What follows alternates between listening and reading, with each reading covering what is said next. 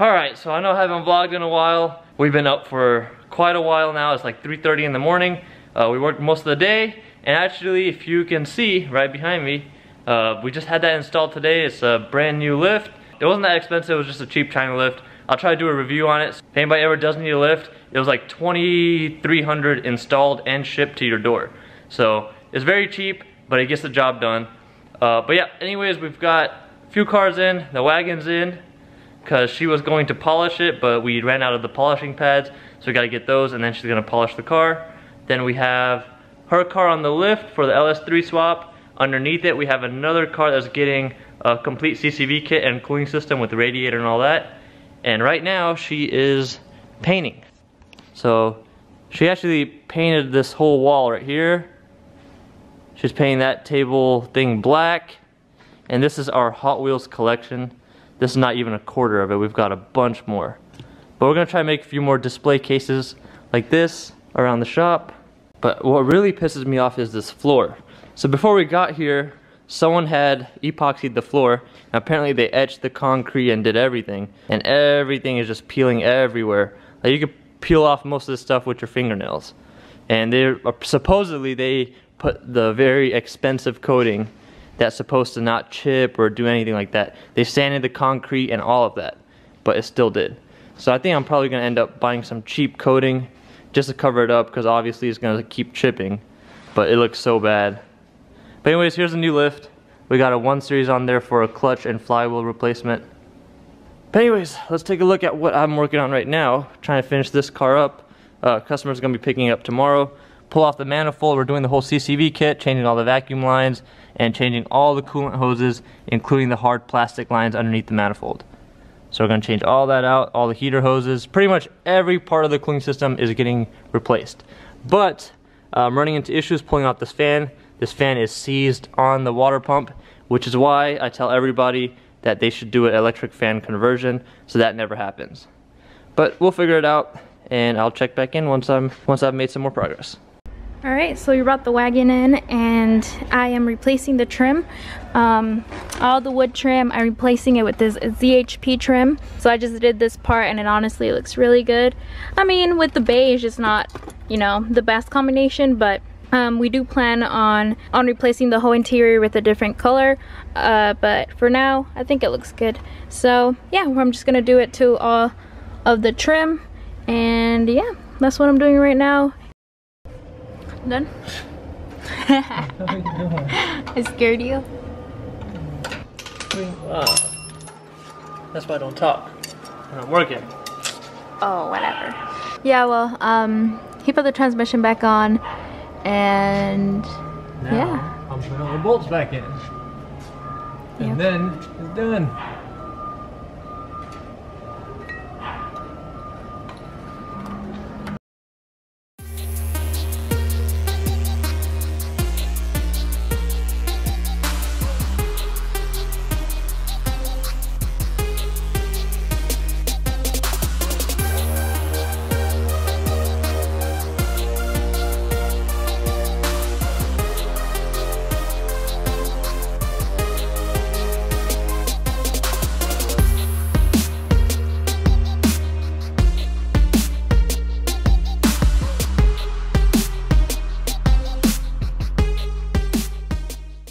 Hey guys, welcome back to Shop Life.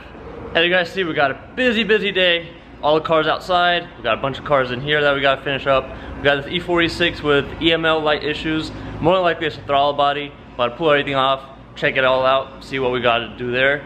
Then we've got the other E46 in the back. Uh, that's just finishing up with the full cooling system, uh, he, the hard lines underneath the manifold as well, uh, CCV kit, all that good stuff. We had to wait on parts for that. I actually had that taken apart a few days back. But all the parts are here. We're gonna go ahead and do that. Then we also have the wagon in here, which uh, Selena was polishing, but we're probably gonna end up pulling that out so we can make some space for some of the cars outside.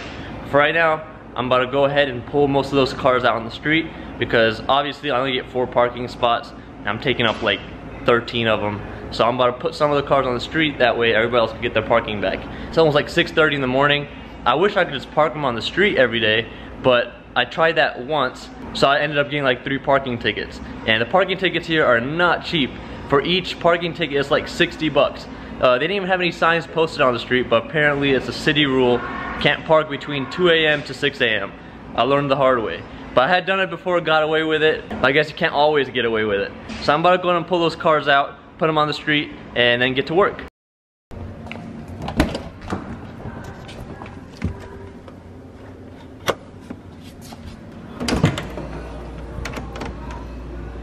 Alright, so here's the car with the EML light. I'm gonna pull off the boots, DISA valve, throttle body, auto control valve, pretty much all this side, replace all the vacuum lines, replace the boots, clean everything up, and when I have the throttle body out, I'll check for any play in the actual flap itself, and we'll just see how it is from there. And if we need to replace it, we'll put another one on, and we should be good. Alright, so somebody already cleaned this throttle body, as well as the idle control valve, so more than likely this throttle body is bad. Uh, we're just gonna go ahead and put another one on. Uh, we'll clean that one up before we put it in, obviously. The idle control valve doesn't seem to be bad. I mean, they cleaned it pretty good. There's still a few spots where I'll clean it a little more, but we'll go ahead and clean this up some more and put another throttle body on. All right, so I just got a call from one of my neighbors. Their car, they have a E60 uh, 530, I believe, with the SMG transmission, and it broke down right on the corner of the street. So uh, I think what's going on is like the transmission won't go into gear anymore. I think it's probably just the gear position switch or something. But I'm just gonna go ahead and go check it out really quickly, see if I get it to go back into gear and see if they can at least make it to the shop or drive it to their spot. And hopefully everything works out. So let me get some tools and let's go. All right, so I just got back. It ended up being the gear position switch. So I just reset it for right now. Just reset all the adaptations for the transmission as well. And then I just had to unhook the battery, I was able to get it to go back into gear. He's been having this issue on and off for a little while, but this is the first time I actually got stuck and turning it off and turning it on did not make a difference. So I am gonna try to get him in as soon as possible. I mean, I'm really slammed right now. We'll figure it out. But anyways, let's get back to this car, go ahead and get this done and pulled out. All right, so I finished it up. I even uh, updated the whole DME to the latest software. Uh, I cleared out all the adaptations, cleared all the error lights on all of that. The only other issue that this car has is the ABS module. So this whole module down here is underneath the master cylinder and all that. And uh, there's an internal error on that. He is gonna have to get that replaced. But besides that, this car should be good to go. So I'm about to turn it on now and take it for a test drive, make sure everything else is good, and we should be done with this.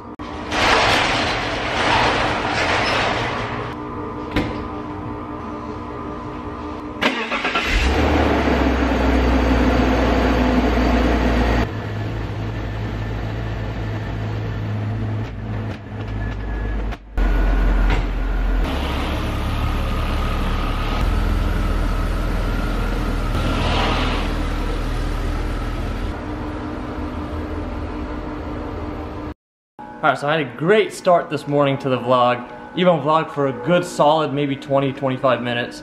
And then I went to go look at my buddy's car, actually my neighbor who's on another, whatever. I, I told you guys where his car broke down, wouldn't go into gear. I went to take a look at that. And after that, I don't know what happened. I just got really slammed, didn't really vlog much, had people over. Uh, worked on that gray car, I know I showed that in the morning.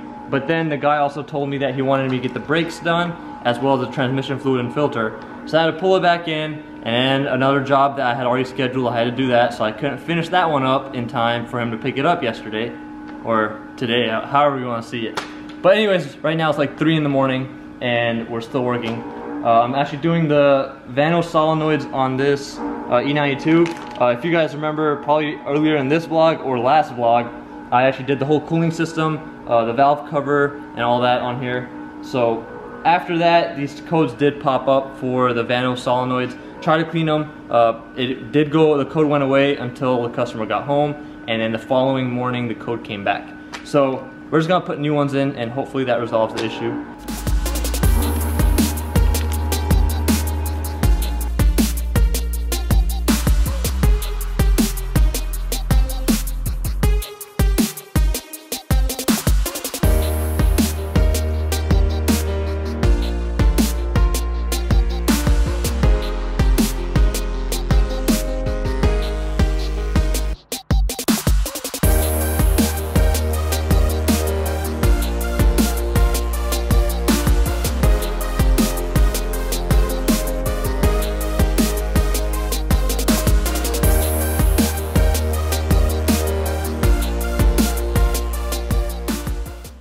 Change one pulley, the tensioner with the pulley assembly, change both Vanos solenoids.